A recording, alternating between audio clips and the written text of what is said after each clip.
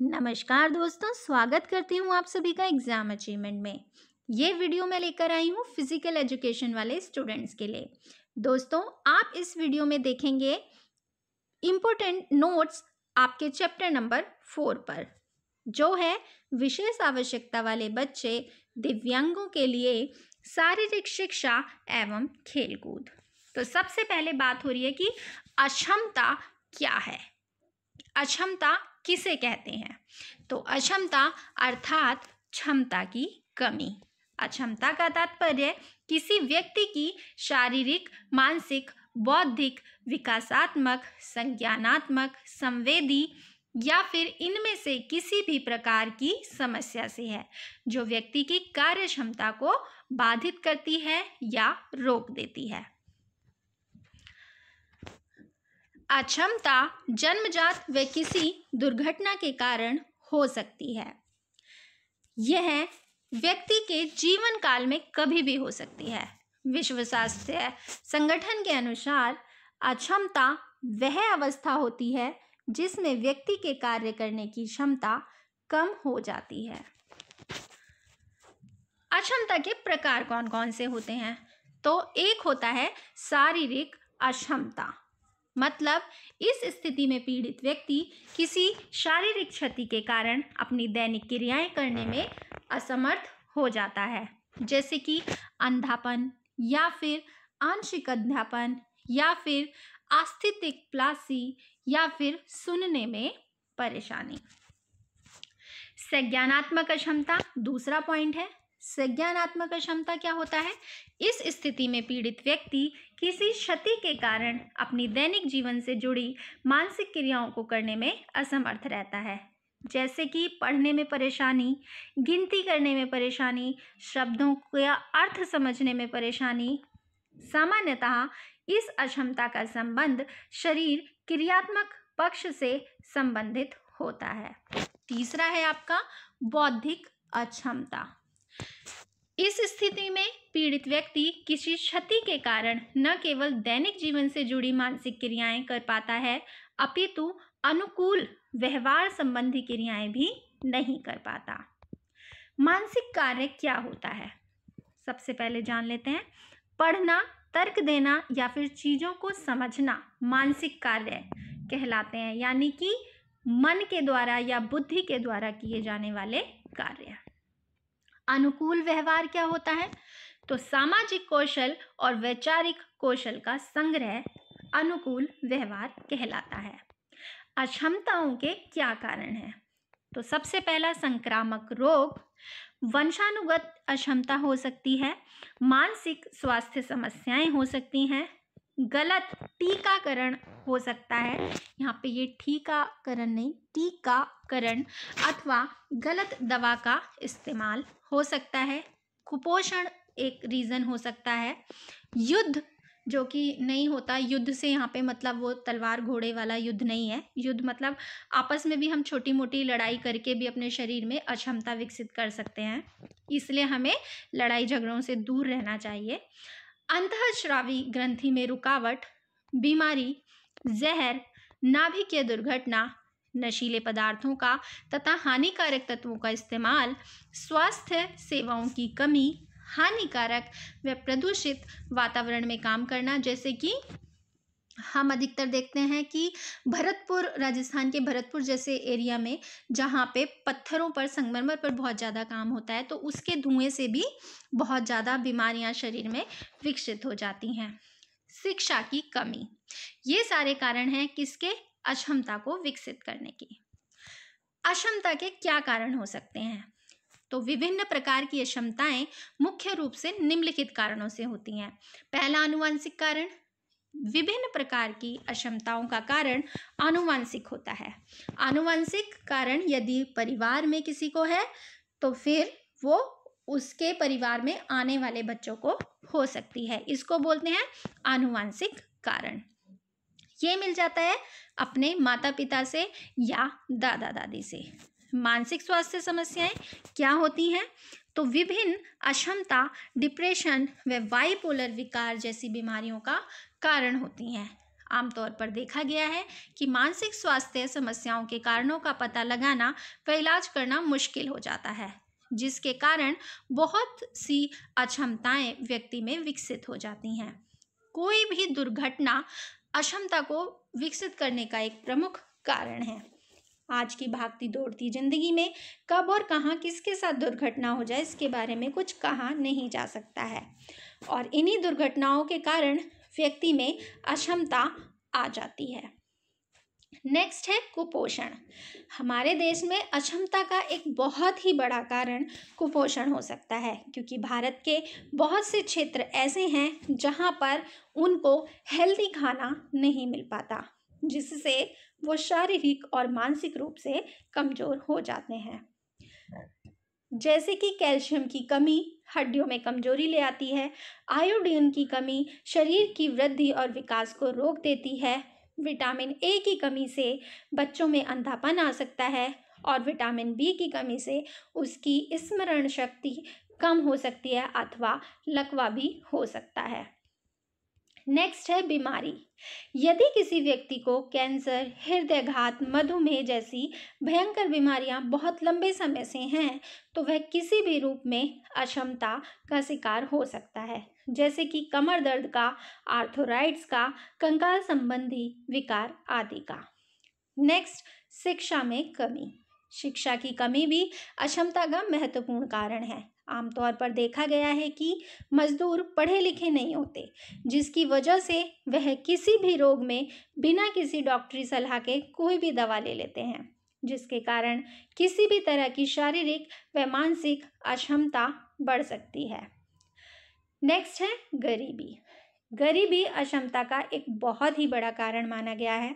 आमतौर पर देखा गया है कि गरीब व्यक्तियों में अक्षमता होने का खतरा और अधिक हो जाता है, क्योंकि या तो वो ऐसी जगहों पर काम करते हैं जहाँ पर साफ़ सफ़ाई नहीं होती, वहाँ पर माहौल काम करने लायक नहीं होता, जोखिमों से भरा होता है और फिर उसके बाद पैसे की कमी के अभाव में वो सभी तरह का पोषण युक्त भोजन नहीं कर पाते। नेक्स्ट शिक्षा साफ़ पीने का पानी एवं आवश्यक पोषक तत्व उनकी पहुँच में नहीं होते। दूसरे शब्दों में कह सकते हैं, इन सभी मूलभूत आवश्यकताओं के अभाव के कारण उनके अंदर अक्षमता आ जाती है। कई बार ऐसे परिवारों में जन्म लेने वाले बच्चे जन्म से ही किसी अक्षमता से ग्रसित होते हैं। ऐसा इस कारणवश होता है क्योंकि गर्भावस्था के दौरान माँ को पूरी तरह से पोषक तत्वों की प्राप्ति नहीं हो पाती है। संक्रामक बीमारियाँ। संक्रामक बीमारियाँ भी अक्षमता का एक कारण हो सकती हैं। वायरस, बैक्टीरिया आदि भी शारीरिक अक्षमता का कारण बन सकता है। यदि एक बच्चा किसी संक्रामक बीमारी से ग्रसित हो जाता है तो उसकी रोग प्रतिरोधक क्षमता में कमी आ जाती है। यदि बच्चे का बली भांति ध्यान ना रखा जाए तो उन्हें किसी तरह की संक्रामक बीमारियों का खतरा बढ़ जाता है, जैसे पोलियो की दवा उचित समय पर ना पिलाने से पोलियो होने की संभावना बढ़ जाती है। नशीले पदार्थों का सेवन अल्कोहल ब्राउन शुगर एलएसडी आदि के सेवन से भी अक्षमता हो सकती है। इन नशीले पदार्थों का सेवन करते करते व्यक्ति इस नशे के जाल में फंस जाता है, इसका आदि हो जाता है, जो कि उसको नुकसान देता है शारीरिक और मानसिक तौर पर, और अक्षमता को भी विकसित करने का एक बड़ा कारण हो अंतःश्रावी ग्रंथि रुकावट। अंतःश्रावी ग्रंथि में रुकावट होने से अक्षमता होने की संभावना बढ़ जाती है। इन रुकावटों के कारण बच्चों को कई तरह की शारीरिक और मानसिक कमी आ सकती है। स्वास्थ्य पर ध्यान ना देना, ये भी एक कारण है अक्षमता विकसित करने का। तो कई तरह की क्षमताओं से छुटकारा सही समय पर देखरेख करके पाया जा सकता है। आमतौर पर पूर्ण रूप स्वास्थ्य सुविधाएँ उपलब्ध ना होने के कारण या गर्भावस्था के दौरान बेहतर स्वास्थ्य सुविधाएँ खान पान उपलब्ध ना हो पाने के कारण जन्मजात ही बच्चे में शारीरिक और मानसिक अक्षमता आ जाती है। इन क्षेत्रों के विशेषज्ञों द्वारा कुछ आपातकाल को हैंडल किया जा सकता है और अनुभवी चिकित्सकों के द्वारा कई बार जन्म से होने वाली शारीरिक अक्षमताओं को रोक पाना भी सफल हो सकता है। आमतौर पर वे लोग जो आर्थिक रूप से कमज़ोर होते हैं, जिनकी आवासीय स्थिति काफ़ी ख़राब होती है, आवासीय मतलब रहने रहन सहन की स्थिति, उन्हें पूर्ण रूप से अच्छी स्वास्थ्य सुविधाएँ उपलब्ध नहीं हो पाती। जिसके कारण जन्मजात ही बच्चों में शारीरिक और मानसिक अक्षमता हो जाती है या फिर होने की संभावना बढ़ जाती है। नाभिकीय दुर्घटना, जैसा कि 1979 से लेकर 1986 में अमेरिका तथा यूक्रेन में हुआ। नाभिकीय दुर्घटना के कारण कई लोगों को परेशानियों का सामना करना पड़ा। 1945 में द्वितीय विश्व युद्ध के दौरान जापान में यूएसए द्वारा परमाणु बम गिराया गया था। इस तरह के हमले को झेलने वाले स्थानों पर आज भी इन परमाणु हमलों से निकलने वाली हानिकारक किरणें, जिनको हम रेडिएशन बोलते हैं, इनका असर देखने के लिए मिलता है। वर्तमान में भी ऐसे स्थानों पर जन्म लेने वाले बच्चों में संज्ञानात्मक विकार, जैसे कि डाउन सिंड्रोम, होने की संभावना अधिक रहती है। इस स्थानों पर जन्म लेने वाले बच्चे किसी न किसी प्रकार की शारीरिक और मानसिक अक्षमताओं से ग्रसित होते हैं। नेक्स्ट है टॉक्सिक पदार्थ पेस्टिसाइड्स और इंसेक्टिसाइड्स इस तरह के पदार्थों में टॉक्सिक जैसे लेड या फिर पारा आदि पाया जाता है। हानिकारक रसायनों पेस्टिसाइड्स के इस्तेमाल से व्यक्ति में अक्षमता एवं शिशु में जन्मजात विकार होने की संभावना अधिक हो जाती है। इसी कारणवश कुछ टॉक्सिक से मनुष्य के मस्तिष्क को खतरा होता है। इनसे व्यक्ति का दिमाग पूर्ण रूप से क्षतिग्रस्त हो सकता है, जिससे कि अक्षमता आ जाती है। नेक्स्ट है वातावरण। तेज़ी से बदलते पर्यावरण, प्रदूषण तथा मिलावट के कारण लोग कुपोषण का शिकार हो रहे हैं। बच्चों तथा गर्भवती महिलाओं में कुपोषण की समस्या भी कई प्रकार की अक्षमताओं का कारण बन रही है। नेक्स्ट है जीवन शैली आधुनिक जीवन शैली खान पान की बदलती आदतें, मोटापा, शारीरिक श्रम का अभाव भी समृद्ध परिवारों में विभिन्न प्रकार की अक्षमताओं का कारण बन रहा है। प्रसव के दौरान होने वाली लापरवाही। कई बार प्रसव के समय हुई किसी भी प्रकार की समस्या के कारण गर्भवती महिला या नवजात शिशु में अक्षमता उत्पन्न हो जाती है। विकार क्या है या फिर विकार की अवधारणा? विकार को आमतौर पर मानसिक विकार से जोड़ दिया जाता है। विकार व्यक्ति के प्रदर्शन व दैनिक दिनचर्या में काम करने की क्षमता को बाधित करता है। कोई भी विकार शुरुआत में साधारण समझ जैसा प्रतीत होता है, लेकिन धीरे धीरे इसके परिणाम घातक होने लगते हैं। विकार का कोई समय नहीं होता, यह व्यक्ति को कभी भी प्रभावित कर सकता है। यदि विकार का सही समय पर पता नहीं चलता तो वो आगे चलकर अक्षमता में भी बदल जाता है।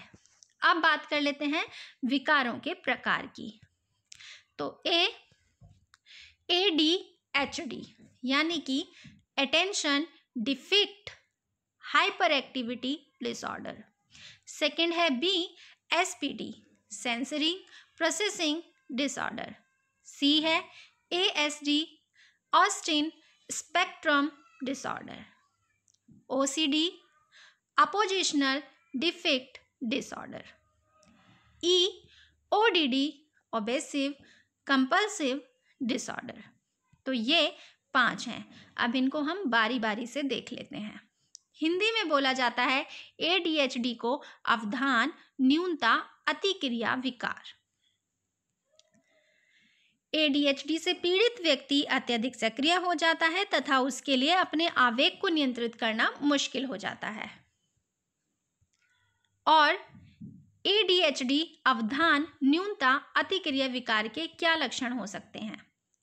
एकाग्रता की कमी हो जाती है उसमें, असंगठित हो जाता है, आसानी से विचलित हो जाता है, लापरवाह हो जाता है, गलतियाँ ज़्यादा करने लगता है, एक जगह पर टिककर बैठ नहीं सकता, बिना सोचे समझे कार्य करता है, अपनी भावनाओं को नियंत्रित करने की कोशिश करता है आत्म केंद्रित यानी कि सेल्फिश व्यवहार करता है, दिवा स्वप्न देखने लगता है, दैनिक क्रिया भूल जाता है। ये सारे हो सकते हैं सिम्टम्स कारण क्या है इसका? पदार्थों का हानिकारक सेवन। आनुवांशिक भी ये बीमारी आ सकती है बच्चे में। मस्तिष्क की चोट के कारण ऐसा हो सकता है या मस्तिष्क की कार्य क्षमता या बनावट में कमी हो सकती है। खराब भोजन या पौष्टिक भोजन का ना मिलना, कुपोषण, समय से पूर्व जन्म लेना, मस्तिष्क के रोग जन्म के समय वज़न की कमी, पारिवारिक अनुशासन की कमी या फिर शरीर की कोई क्रियात्मक समस्या इस विकार का कारण हो सकती है। दूसरा विकार है एसपीडी यानी कि संवेदी प्रसंस्करण विकार। इस विकार में तंत्रिका तंत्र की कार्य क्षमता में आई कमी के कारण तंत्रिका तंत्र इंद्रियों के माध्यम से प्राप्त हुई सूचना को प्राप्त करने में या तो असमर्थ हो जाता है अथवा इन सूचनाओं को प्राप्त करने में मुश्किल आने लगती है। इसके लक्षण हो सकते हैं। सबसे पहला व्यवहारिक लक्षण की अगर बात करें तो आवाज़ के प्रति अत्यधिक संवेदनशील, सुगंध के प्रति अत्यधिक संवेदनशील, रचनात्मक खेलों में शामिल ना होना, अकेले रहना दूसरा शारीरिक लक्षणों में आ सकते हैं। खराब आसन खराब संतुलन खराब मांसपेशीय नियंत्रण धीमी मांसपेशीय वृद्धि नींद ना आना नींद की क, नींद कम आना शरीर के किसी हिस्से में अत्यधिक कंपन होना खराब तालमेल रहना असंतुलन ये सारे शारीरिक कारण हो सकते हैं। अब है मानसिक या मनोवैज्ञानिक लक्षण तो समाज से अलग रहना अवसाद यानी कि डिप्रेशन में रहना, आक्रामकता मतलब गुस्सैल होना, बहुत ज़्यादा चिंता करना, भीड़ से डर लगना, अचानक किसी भी चीज़ को छूने से डरना, ये सारे इस विकार के कारण हो सकते हैं। और ये होता किस कारण से है? तो सबसे पहले वंशानुगत हो सकता है ये, असामान्य मस्तिष्क हो सकता है तंत्रिका तंत्र संबंधी विकार ही है तो तंत्रिका तंत्र से संबंधित हो सकता है, गर्दन के ऊपरी भाग तथा ब्रेन स्ट्रेम संबंधी चोट से हो सकता है। वाता भोजन के तत्वों से एलर्जी यानी कि सही से भोजन ना लेने के कारण हो सकता है, मादक यानी कि नशीले पदार्थों का सेवन करने से हो सकता है या फिर खराब वातावरण में रहने या काम करने से भी हो सकता है। तीसरा विकार है ए एस टी स्वलीनता आत्मव्यूह वर्णपट विकार। ऑटिज्म स्पेक्ट्रम विकार। इंग्लिश में बोला जाएगा इसको। इसके बारे में देख लेते हैं। यह एक तंत्रिका तंत्र तथा विकास से संबंधित विकार है। इस विकार में पीड़ित व्यक्ति किसी शब्द या किसी वाक्य को बार बार दोहराता रहता है। सामाजिक संपर्क करने में कठिनाई, लोगों के बीच में उठने बैठने में हिचकने लगता है। ए के क्या लक्षण हैं? तो बातचीत करने में समस्या, भाषा से संबंधित समस्या, आँखों से संपर्क स्थापित करने से बचना, सामाजिक क्रियाओं में भाग न लेना बार बार दोहराने वाली क्रियाओं में व्यस्त रहना, किसी भी वस्तु को बार बार छूना, स्वाद, आवाज़, गंध के प्रति अत्यधिक संवेदनशील होना, सामाजिक संपर्क स्थापित करने से बचना, ये सारे के सारे इससे लक्षण हो सकते हैं। अभी इसके क्या कारण हो सकते हैं? तो आनुवंशिक कारण, गर्भ के समय कुपोषण का शिकार होना, वातावरण संबंधी कारण, मस्तिष्क का पूर्ण रूप से विकसित ना होना, ये सभी इसके कारण हैं। नेक्स्ट विकार है ओसीडी जिसकी फुल फॉर्म होगी मनोग्रसित बाध्यता विकार। ये क्या होता है? तो इस विकार में पीड़ित व्यक्ति अपने से संबंधित वस्तुओं को बार बार जांचता रहता है। दैनिक जीवन से जुड़ी कुछ क्रियाओं को बार बार दोहराता रहता है। बार बार जैसे हाथ धोना बार बार आ, बाल बनाना बार बार कपड़े बदलना इस तरह की कुछ लक्षण इसको देख लेते हैं तो जुनूनी विचार। गंदा होने का डर ज़रूरत से ज़्यादा धार्मिक कार्यों पर ध्यान केंद्रित करना चीज़ों को खोने का डर होना वहमी होना। और इसके बाध्यकारी व्यवहार क्या है? चीज़ों की दोहरी जाँच करना। अपने प्यारों की कुशलता के बारे में बार बार जांचते रहना, पूछते रहना, शब्दों को बार बार दोहराना, धोने व साफ़ क्रिया, साफ़ करने की क्रिया पर अत्यधिक समय व्यतीत करना, चीज़ों को व्यवस्थित करते रहना, अत्यधिक प्रार्थना करना, घर में खराब सामान को इकट्ठे करके रखना। ओसीडी के क्या कारण है? आजकल ओसीडी बहुत ज़्यादा प्रचलन में है दोस्तों। बहुत सारे सेलिब्रिटी भी यहाँ तक कि ओसीडी का विकार से ग्रसित हैं। जैविक तत्व न्यूरो ट्रांसमीटर के स्तर में कमी आ जाती है, मस्तिष्क के मार्गों में रुकावट आ जाती है। आनुवंशिक तत्वों से भी ऐसा होता है, जो बच्चों में मम्मी पापा से आ जाते हैं। संक्रमण के कारण भी ऐसा हो जाता है। वातावरण संबंधी तत्व भी हो जाते हैं, पर्यावरण में भी तनाव आ जाता है। नेक्स्ट है ओडीडी विरुद्ध अवज्ञाकारी विकार। यह विघटनकारी व्यवहार विकार के नाम से भी जाना जाता है। इस विकार में पीड़ित व्यक्ति अपने चारों ओर की चीज़ों को बाधित करता रहता है, जिनमें बच्चे मम स्पर्शी क्रोधी और विवादी व्यवहार या नकारात्मक सोच वाले हो जाते हैं। यह एक मानसिक व विघटनकारी विकार है।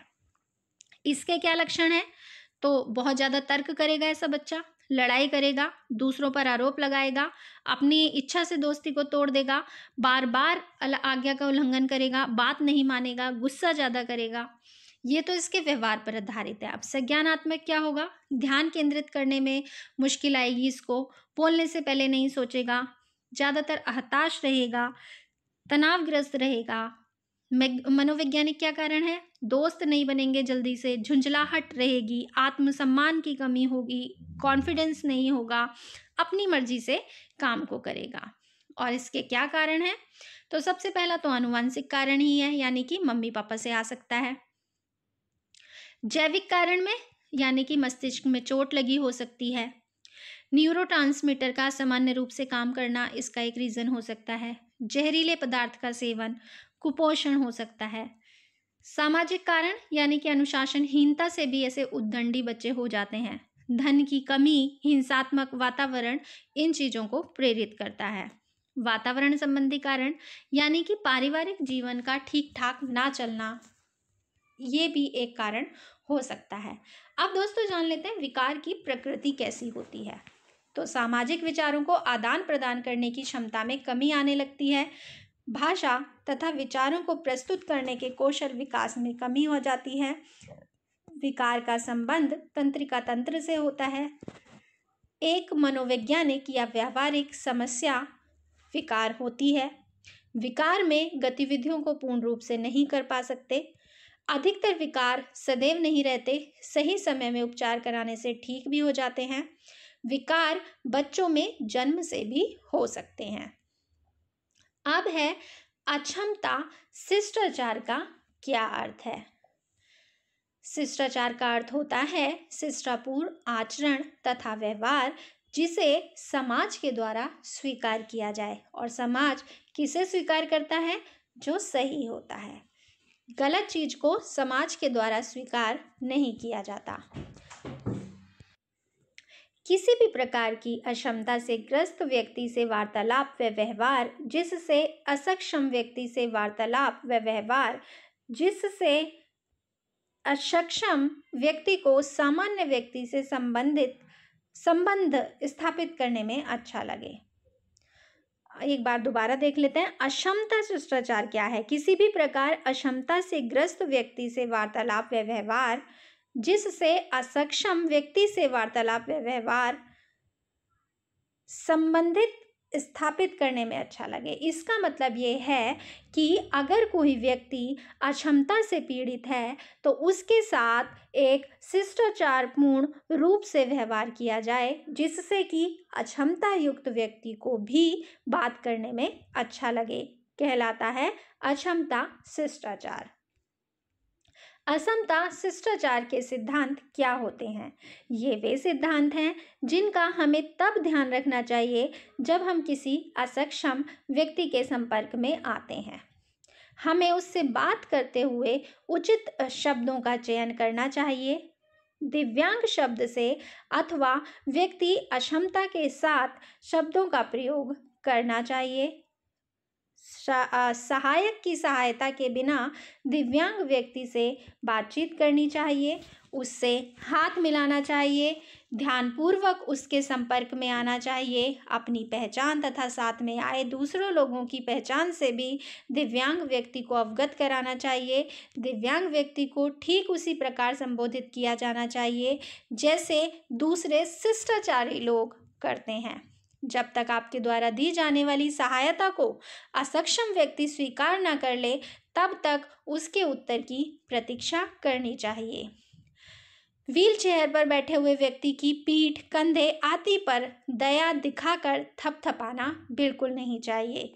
व्हील चेयर पर झुकना नहीं चाहिए। इसके अतिरिक्त हमें अपने व्यवहार और शब्दों से भी उसका आचरण या शिष्टाचार निभाना चाहिए। तो दोस्तों, ये था हमारा चैप्टर अक्षमता पर आधारित। आशा करती हूँ आपको समझ आया होगा। इसी के साथ मेरी वीडियो को लाइक करना ना भूलें और चैनल को भी सब्सक्राइब ज़रूर कर लें, जिससे कि इस तरह की और वीडियोस की जानकारी आपको समय पर मिलती रहे। वीडियो को लास्ट तक देखने के लिए आप सभी का धन्यवाद।